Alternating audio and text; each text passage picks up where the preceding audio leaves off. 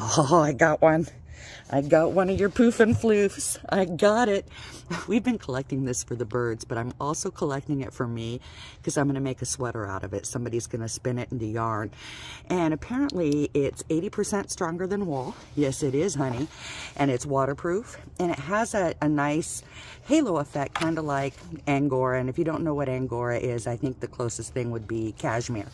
And uh, I think it'd be really interesting to wear a sweater that smelled like her.